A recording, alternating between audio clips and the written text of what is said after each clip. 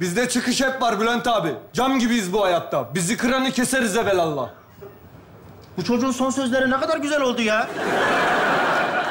Hadi hayırlısı olsun inşallah. La Gökhan, bu semt ikimize dar oğlum. Darsa bir beden büyüğünü vereyim derdim ama hayırlı bir iş için buradayım. Bak hele bak. Bir yüzünde gülücük var, bir elinde gülücük var. Görür mü? Gülü seven dikenine katlanır. Bak katlandım. Yemin ediyorum bu çocuk kendini her gün biraz daha geliştiriyor ha. Ama bu dayak yemesine engel değil. Tamam işim bitsin beni döv ya. Bana bir vur beni bir gaza getir ya. Yemin ederim rahatsız bu çocuk ya. Bizden rahatı gevşektir Bülent abi. Ne diyorsun oğlum sen lan? Ne diyorsun? Rahat edemediysen başka yerde istirahat edersin diyorum Neco. Hadi gel bakalım lan. Gel Hadi buraya. gel. Hadi gel. Hadi gel. Alın tutun lan. Bana bak. O kız sana gelmez Gökhan. Gerçi Neco da gelmedi ki ben bu durumdan çok şikayet